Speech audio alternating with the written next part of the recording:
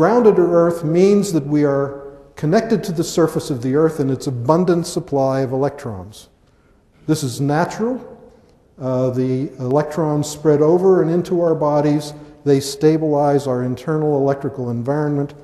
Everything works better. These electrons flow continuously from the sun to the ionosphere via the solar wind to the ionosphere. Um, they come to the earth in the form of lightning or thunderbolts, and they continuously supply the surface of the earth.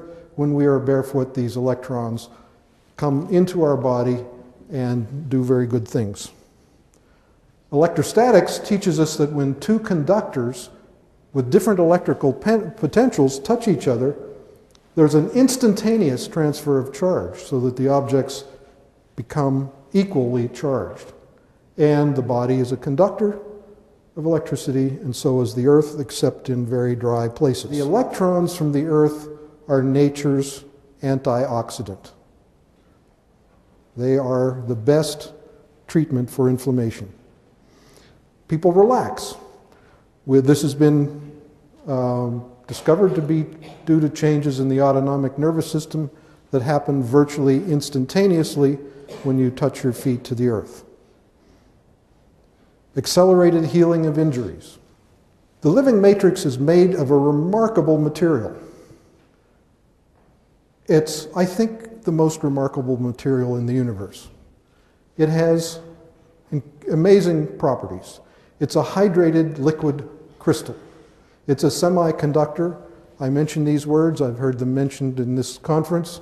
Um, the material is piezoelectric, it's pyroelectric, it's thermoelectric. You are liquid crystals, every one of you.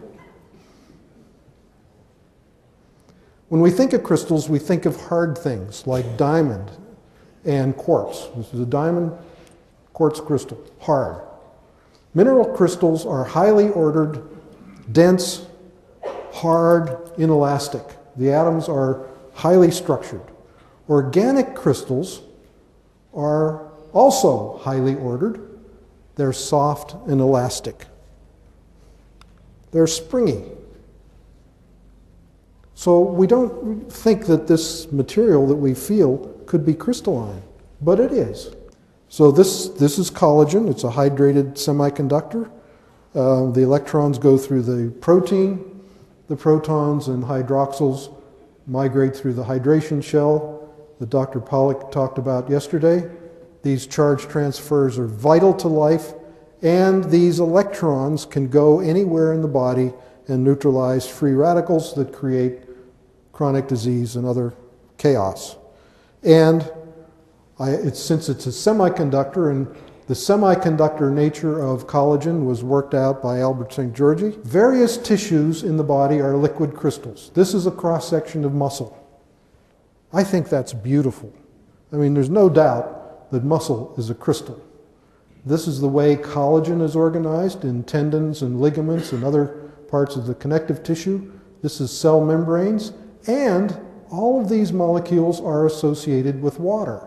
So when you look at this, the way the collagen molecules are organized in the tendon, associated with those molecules are water molecules which also form a liquid crystalline. This is the old model of the uh, cell that you'll find in textbooks. It's a bag of soup with things floating around in it. This is the connective tissue out here. And no relationship. This model is wrong. Uh, forget it. Uh, the, the, more accurate model is the matrix within a matrix within a matrix, totally interconnected.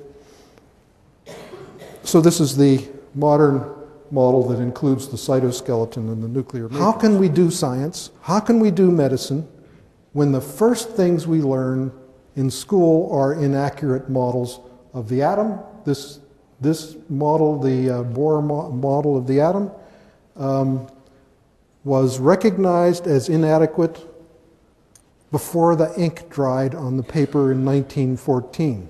And yet it is the symbol of the atomic age and it's still in all the textbooks. This picture of the cell is wrong. Uh, the, the soup with the organelles floating around in it again, is wrong. When people go to medical school, they learn this model in their first course, and it's incorrect. This is the living matrix, and the concept comes from the recognition that our bodies are a continuum. All of the parts of the body, just like all of the parts of the universe, are connected. And so this is a cell, and it's the recognition that the cell is, contains a matrix, which is called the cytoskeleton, which contains another matrix, which is called the nuclear matrix. And it's surrounded by another matrix called the connective tissue matrix. It's the largest, largest organ in the body. It's the only organ that touches all of the other organs. And I view this, first of all, as an electronic circuit. I've made little red dots which represent electrons. Nobody has ever seen an electron, so it's just science fiction that they're little red dots, but it's to give you the idea of the dynamic motion movements uh, of electrons within the circuit